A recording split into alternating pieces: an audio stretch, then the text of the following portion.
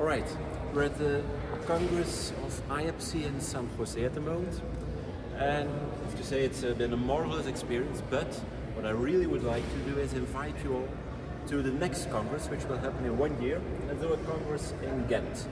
We'll be organizing it in 27th till 29th of August, and our main conference theme is the essence of structural engineering for society.